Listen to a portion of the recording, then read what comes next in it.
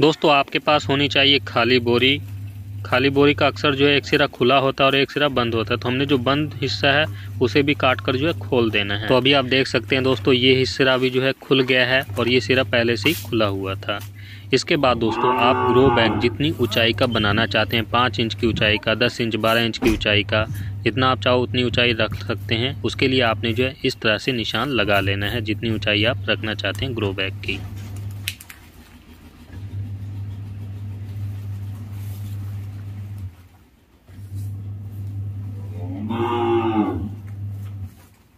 तो दोस्तों, आयताकार रेक्टेंगुलर ग्रो बैग हम जितनी हाइट का बनाना चाहते हैं, उतनी हाइट पर हमने इस तरह से निशान लगाना है बोरी के कोने पर रखते हुए इंची टेप को।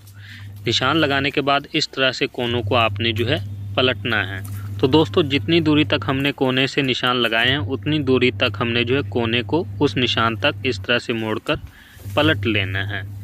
कोने से मोड़ते वक्त आपने जो निशान पहले लगाए थे वहाँ तक आपने इस तरह से सीधी लाइन लगा देनी है।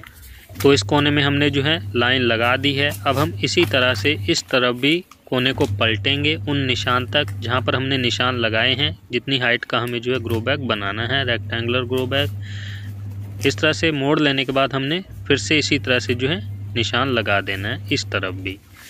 इसके बाद दोस्तों, हमने इन निशान लगाए हुए पार्ट को काट कर अलग करना है।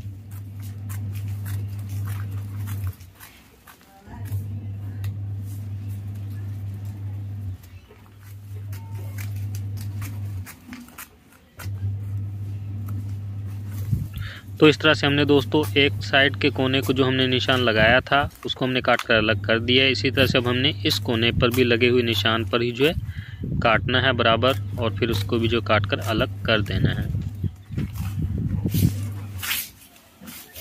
रेक्टेंगुलर ग्रो बैग बनाने के लिए हमने बोरी को जिस शेप में काटना था, वह लगभग पूरी तरह से कट चुका है। बस यहाँ से आपको जो है और लास्ट में काट देना है। तो यहाँ से काटने पर जो है इस तरह से बोरी हमारी खुल गई है। अब बोरी को जो हमने शेप दी है काट कर ये शेप पूरी तरह से तैयार है रेक्टेंगुलर ग्रो बैग बनाने के लिए। ग्रो बैग बनाने की शेप में काट लेने के बाद दोस्तों, जो निकले हुए सिरे हैं इस बोरी के, उन्हें आपने इस तरह से पलटना है आधा इंच के लगभग। आधा इंच से कम ना रखें। आधा इंच के लगभग पलट लेना है। पलट लेने के बाद जो है आपको सिलाई करनी है। किनारे किनारे पर। अंदर जो है गैप रहना चाहिए। क्यों रहना चाहिए वो भी मैं आपको आगे बताऊँगा। तो इसी तरह से निकले हुए सिरों को जो है आधा इंच के लगभग आपको मोड़ना है और फिर जो है सिलाई करनी है। तो दोस्तों, बोरी के जो चार सिरे निकले हुए थे, हमने चारों में सिलाई कर दी आधा इंच दबाते हुए, आधा इंच का गैप रखते हुए।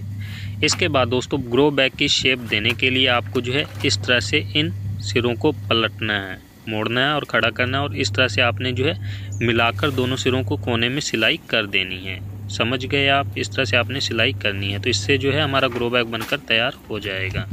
दोनों पार्ट को सिलते समय आपने ये बात ध्यान रखनी है, जो हमने आधा इंच गैप रखते हुए सिलाई की है किनारों पर, उसको हमने नहीं सिलना है। उसको छोड़कर हमने जो है नीचे से सिलाई शुरू करनी है।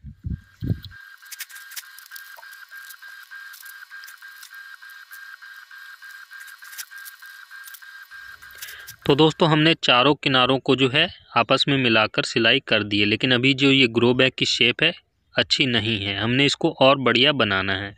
उसके लिए दोस्तों हालाँकि ये दोस्तों जो पार्ट हैं, ये अलग अलग नहीं है। इनको जोड़ने की ज़रूरत नहीं, लेकिन फिर भी हम इस तरह से इसकी जो है किनारे किनारे पर सिलाई करेंगे, ताकि जो है एक अच्छी शेप निकल कर आए। आप समझ गए होंगे, ये फटा हुआ नहीं है, कटा हुआ भी नहीं, लेकिन फिर भी हम यहाँ पर जो है इस कोने से लेकर इस कोने तक इस तरह से सिलाई कर देंगे सीधी, ताकि इसकी जो शेप है बहुत अच्छी बने और जो इसका बॉटम पार्ट काफ़ी अच्छा रहे।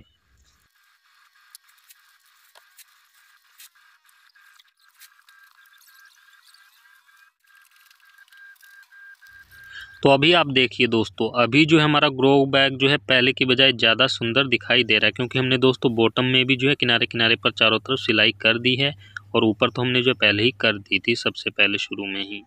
अब दोस्तों आपको चाहिए इस तरह की बाँस की छड़, बाँस की या फिर किसी भी तरह की छड़ हो, जो हमने ऊपर सिले थे सिरे, आधा इंच का गैप रखते हुए, उनमें हमने जो इस तरह से इनको डाल देना है, ताकि ग्रो बैग जो है एकदम सीधा रहे।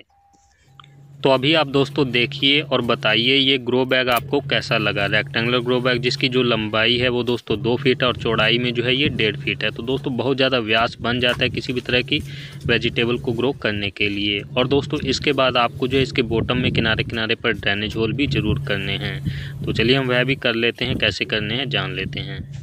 आप दोस्तों किसी भी टूल को गर्म करें और गर्म करने के बाद दोस्तों इस तरह से आपने किनारे किनारे बॉटम में जो है ड्रेनेज होल बना देने हैं।